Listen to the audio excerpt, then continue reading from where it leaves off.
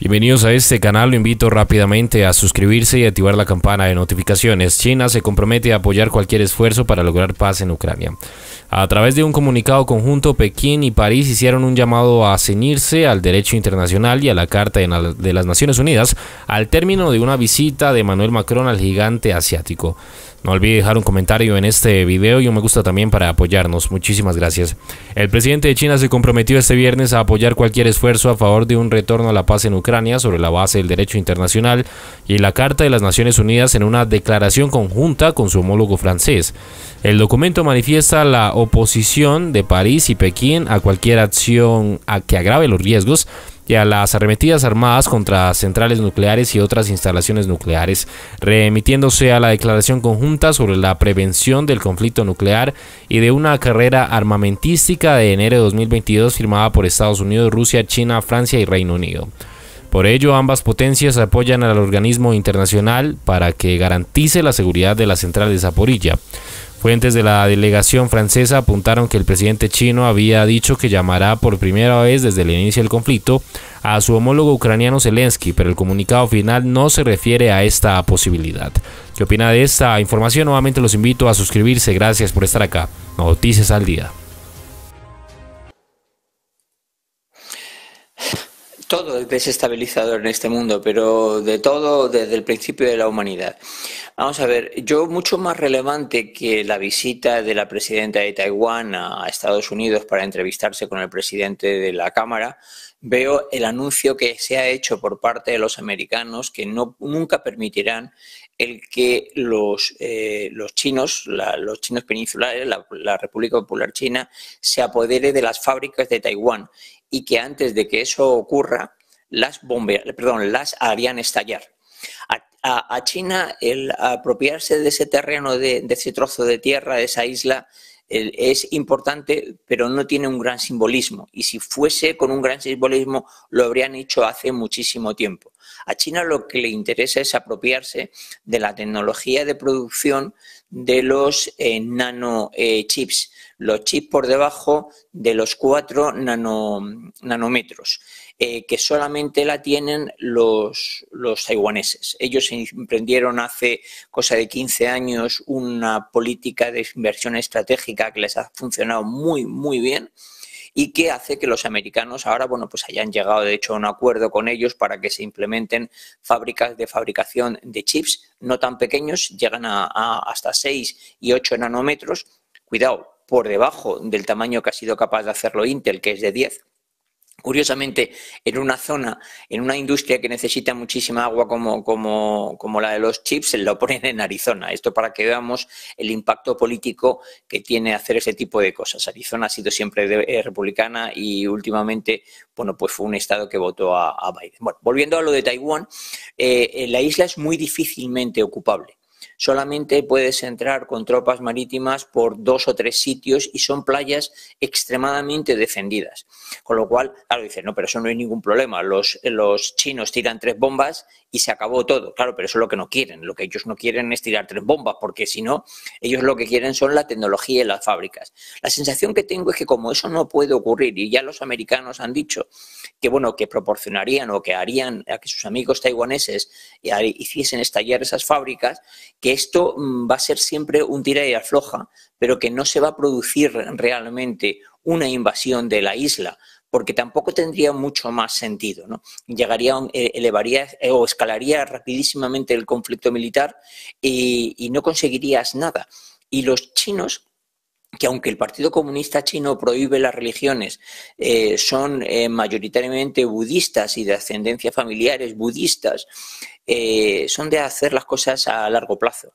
Han estado eh, conquistando el mundo, se los hemos estado permitiendo de la manera más estable posible, que no es mediante tropas militares, sino mediante la economía. Eh, no me creo que vayan a invadir Taiwán después de las declaraciones que se han hecho sobre sobre hacer estallar las fábricas. Y, bueno, pues obviamente tienen que replicar, pues porque hay que mantener el espíritu eh, arriba. Pero si, si, si, hubiese tal peligro, ¿alguien se cree que la presidenta taiwanesa se iría a Estados Unidos a entrevistarse con un político? No tiene sentido. Em, cambiando de asunto, eh, Miguel Ángel quería también eh, poner eh, la mirada en lo que está siendo esa posición, ese acercamiento cada vez mayor, antes de, nada, esa visita que lleva hoy Sergei Lavrov a Turquía, toda la mirada puesta, además este mes está en los próximos días en la inauguración de esa gran central nuclear, que es la gran obra de Rusia, esa Turquía que mira tanto a, a Europa, ¿no? De hecho, tenía eh, bueno, eh, como, em, esa dificultad que, tiene la diplomacia europea con Turquía y cómo cada vez más se acerca a, esa Rusia y, y Sergei Lavrov eh, está efectivamente tratando ¿no? de sellar esa alianza que cada vez es más grande en materia energética, en materia comercial. ¿Cómo hay que interpretar ese acercamiento cada vez mayor? Entramos en otro de los focos de conflicto. Turquía es un país de la OTAN, pero es un país que ha solicitado la integración en la Unión Europea y la Unión Europea eh, educadamente le ha dicho que no. Y que además que no es previsible que se lo permita nunca. Eso les ha llevado a decir que bueno, pues que realmente Europa no es más que un gran reino cristiano, una alianza de cristianos, que como ellos son musulmanes, que tal y para acá.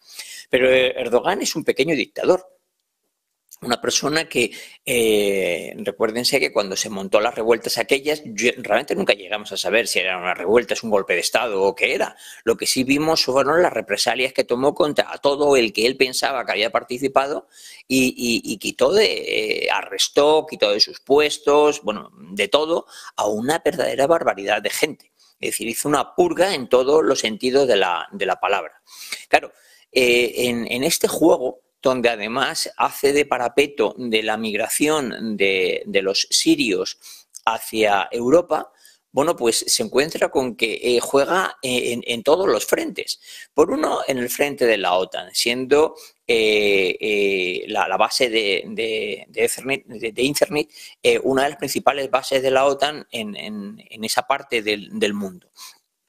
Segundo, porque eh, recibe de alguna manera o está controlado por armamento americano. Tercero, pues porque recibe una verdadera barbaridad de fondos de los europeos para que controle la inmigración, que la controla cuando le apetece y cuando le deja de apetecer, la deja pasar una poca de gente y que le den más dinero. Y, y por otro, se pone de acuerdo con los rusos, que son los enemigos ahora mismo claramente de todos los occidentales, para que le hagan inversiones y así nos meta el dedo en el ojo. Por lo tanto, es como un foco de conflicto eh, donde además no tiene pinta de que vaya a acabar, porque eh, aunque Erdogan ha ido perdiendo fuerza en todas las encuestas, no, está nada claro que su posible sustituto, en el caso de que perdiese, que dicho de paso digo que no lo creo, eh, fuese mejor para Occidente.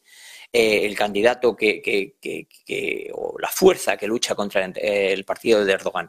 Entonces, vamos a vivir esto durante muchísimo tiempo. Es decir, yo creo que la época de la Guerra Fría era una guerra de espías donde no conocíamos prácticamente nada de lo que pasaba al otro lado del telón, más que lo que nos querían contar en las películas y lo que los servicios de inteligencia filtraban.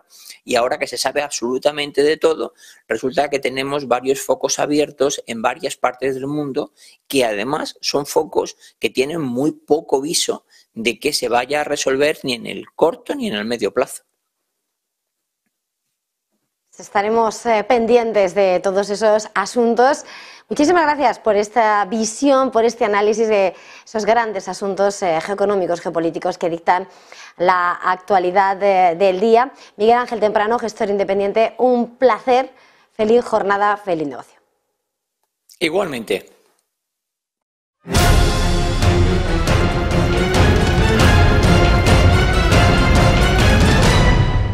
Si no te quieres perder de los últimos acontecimientos que pasan en el mundo, suscríbete y activa la campana. Somos Noticias al Día.